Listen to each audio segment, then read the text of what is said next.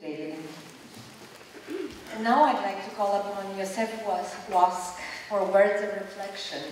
We are grateful to Yosef for making available to us the Leonard Cohen artworks exhibited in our gallery until 9 p.m. tonight.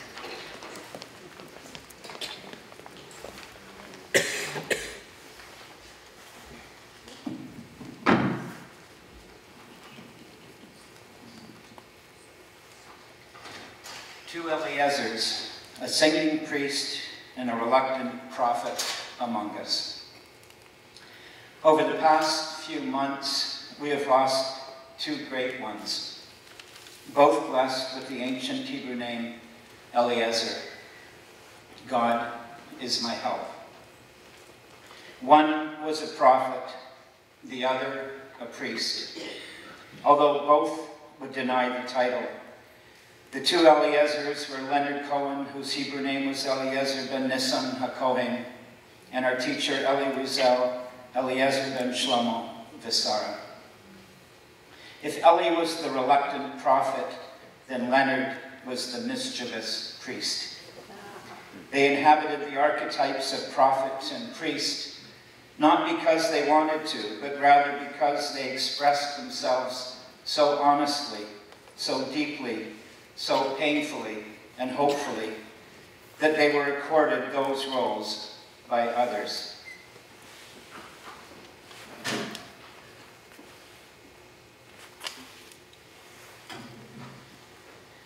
Even though Hanukkah is two weeks away, I'm going to light a menorah to bring us a bit of light in the midst of winter and the world's darkness.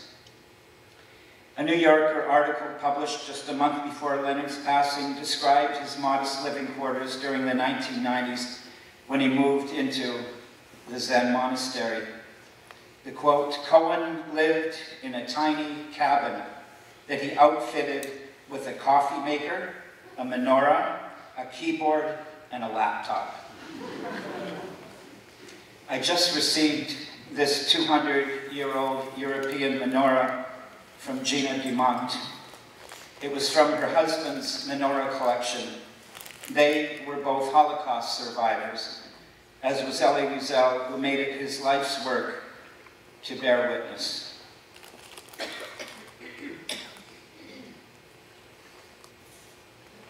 You want it darker?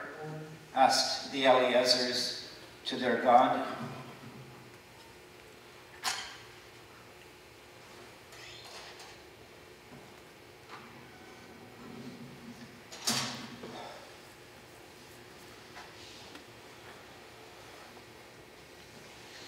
Ring the bells still can ring. Forget your perfect offering. There is a crack in everything. That's how the light gets in. Leonard Cohen, born on September 21st, 1934, the autumnal equinox. He came from a lineage of community scholars and leaders who could trace their ancestry back 3,500 years to Aaron, the brother of Moses and Miriam, to Aaron, the first Kohen, the first priest in Israel. I remember seeing him at concert here in Vancouver and sitting there and all of a sudden it dawned on me, beautifully dressed, with his hat on one knee and then two with his hand up and the feeling palpable throughout the room. And I said, this is the real, this is the true Kohen Gadol, the high priest. So much of, I'm, not trying to talk anyone down, uh, of what goes on in so many of our congregations is, uh, feels like, uh, like rote, or it's all written in the book and not in the heart. And here was someone who brought out from everyone, no matter their background, the feeling of what a true high priest would be like. One of my favorite Leonard Cohen stories was told by Dr. Marvin Weintraub. Uh, he was living in Montreal many years ago when he heard a, a young CBC reporter asking Leonard if he was concerned about his last name Cohen and wouldn't that attract anti-Semitism. She asked him if he ever considered changing his name, to which he responded, yes, I have. To what, she queried. To August, he replied. To which in bewilderment, she blurted out, Leonard August? No, he paused, to August Cohen.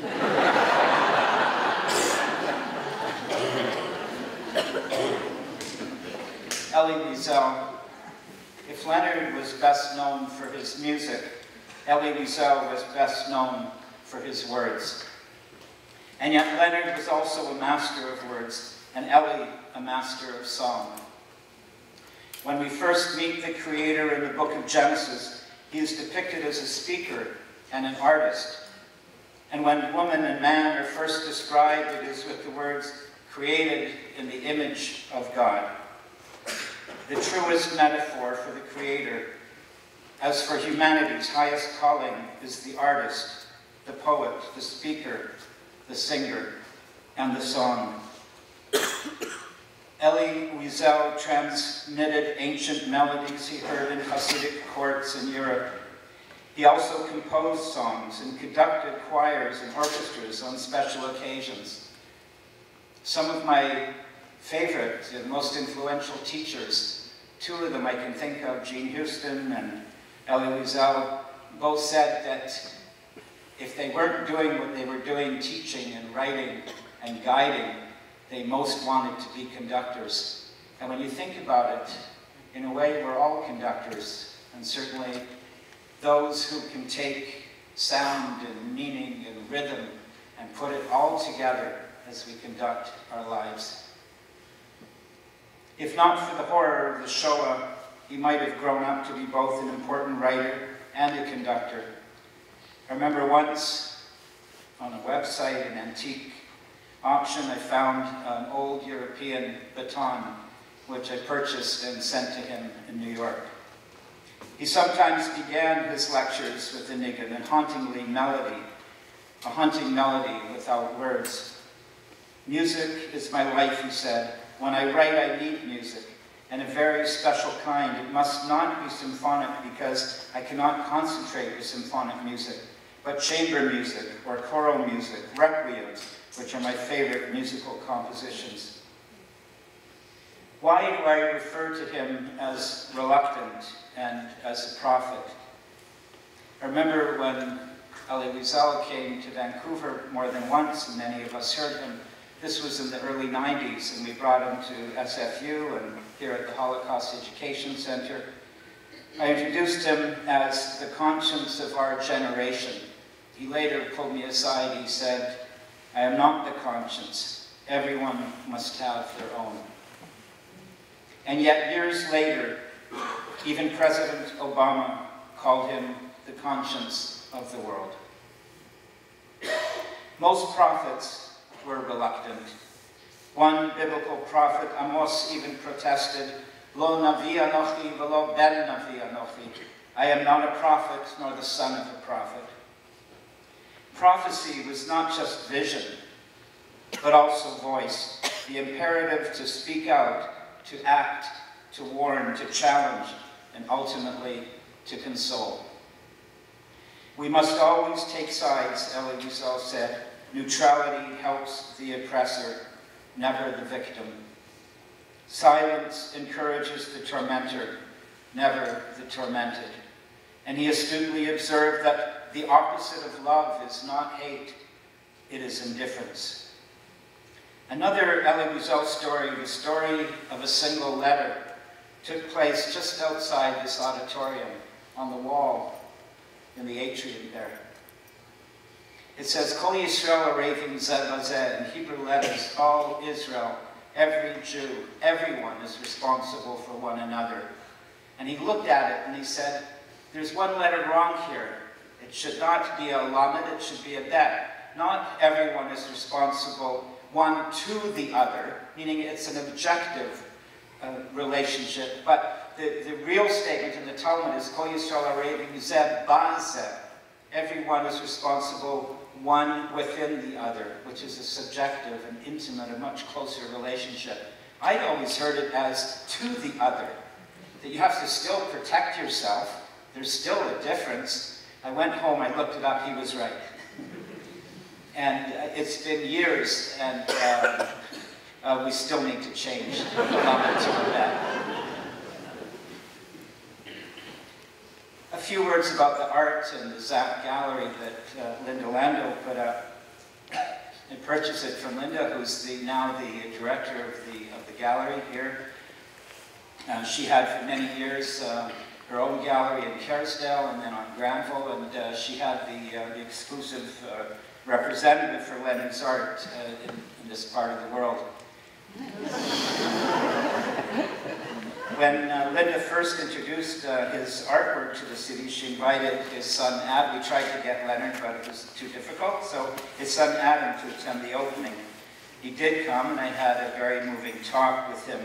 Among the subjects were how he was handling the search for his own identity when brought up under the shadow of a famous father, and also the multi-talented nature of his father. Adam half-jokingly commented, yes, he has more than should be afforded to any one man, poet, musician who writes the music, the lyrics, and performs his own songs, novelist, lover, and now artist.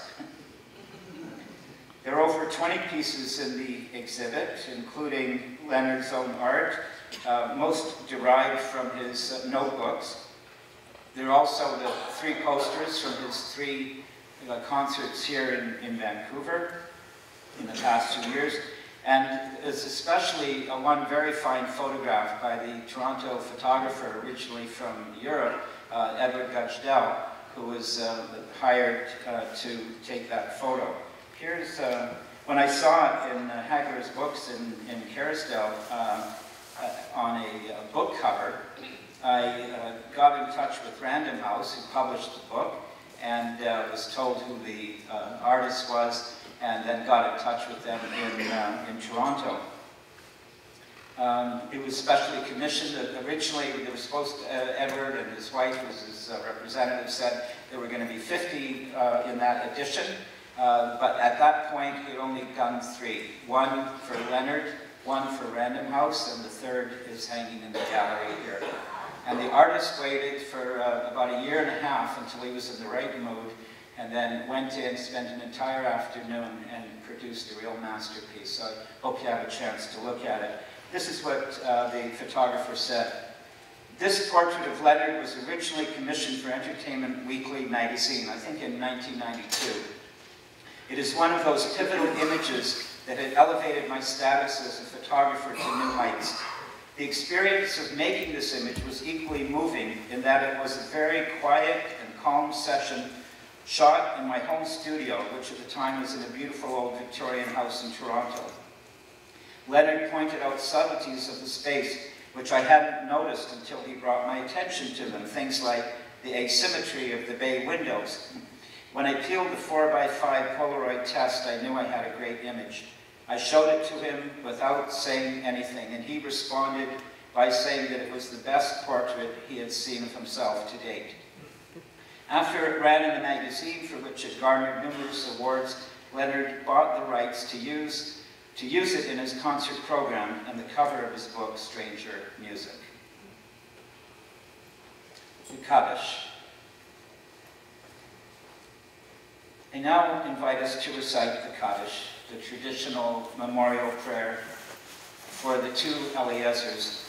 Kaddish for Eliezer ben Shlomo Visara, Professor Wiesel, Elie Wiesel, the reluctant prophet, and Kaddish for Eliezer ben Nissan, Leonard, the son of Nathan and Masha, the singing priest, who also referred to himself in transparent honesty, mixed with self-deprecating humor as a lazy bastard in a suit, and as Jikan, the useless monk, bows his head the one whose lyrics on You Want It Darker paraphrased the Kaddish. Magnified, sanctified be thy holy name, vilified, crucified in the human frame. A million candles burning for the help that never came. You want it darker? Hineni, Hineni, I'm ready, my Lord. Both are no longer among us, but we remain part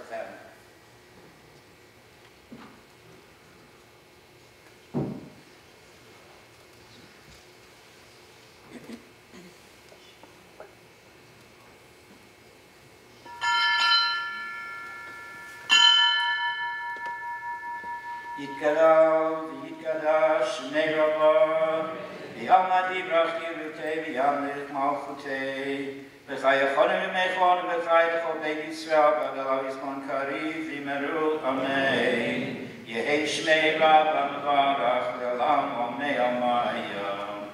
יתברך וישתבח ויתפאר ויתרומם ויתנשא, וידבר ויתעלם ויתעלל שמי לקודשו בריחו. Leilami ko birchata mishirata, dushbechata v'nechamata damrin gama v'meru, amen. Yehei shlama rabba min shemaya, v'chayim aleinu v'alko Yisrael v'meru, amen. Osei shalom b'marma v'yasei shalom, aleinu v'alko Yisrael v'meru.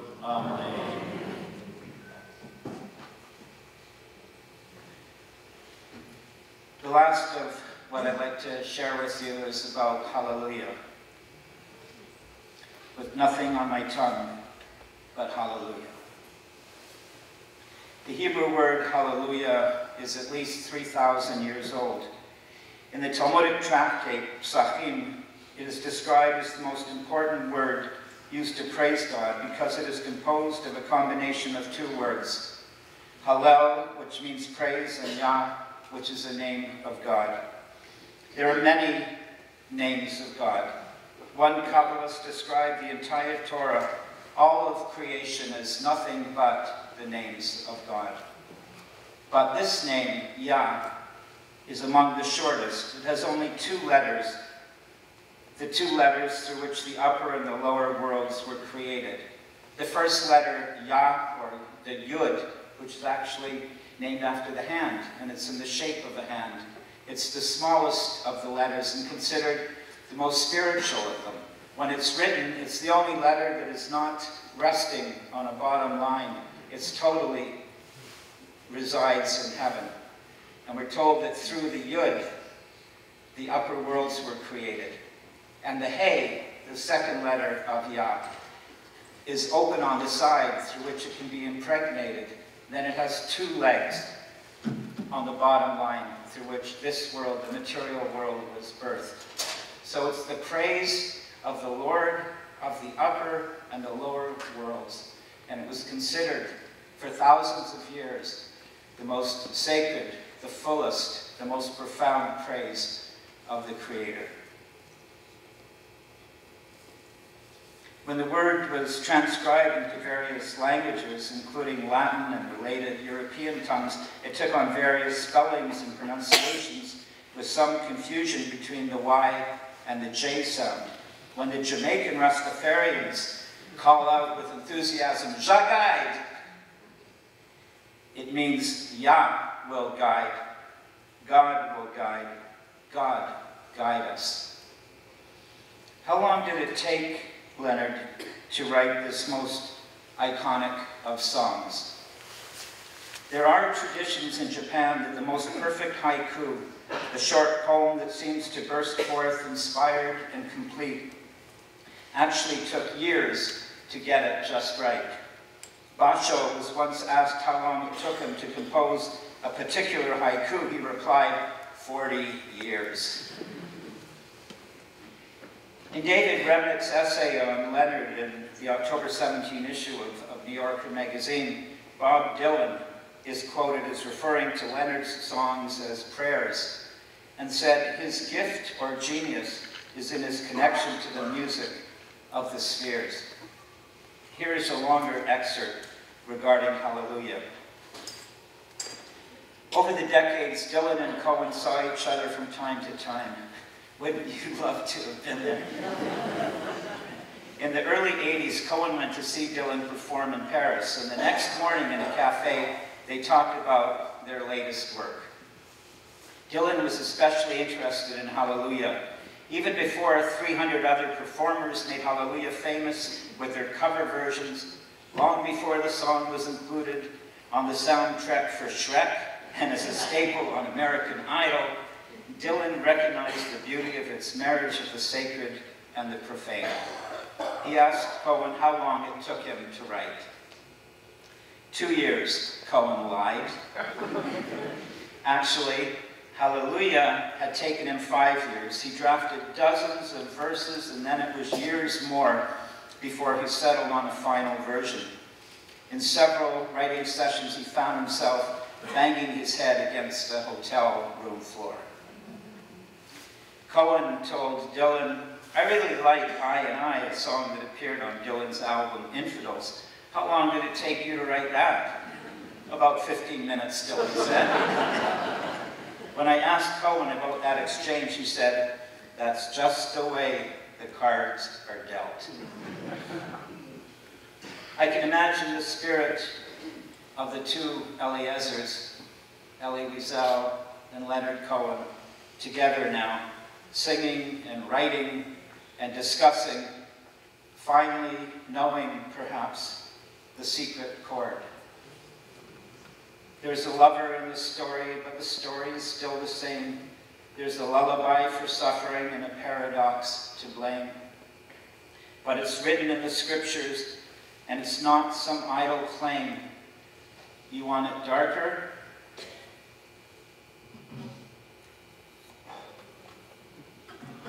We killed the flame. Hineni, my Lord, I'm ready. I'm ready, my Lord. Hineni, Hineni, I'm ready.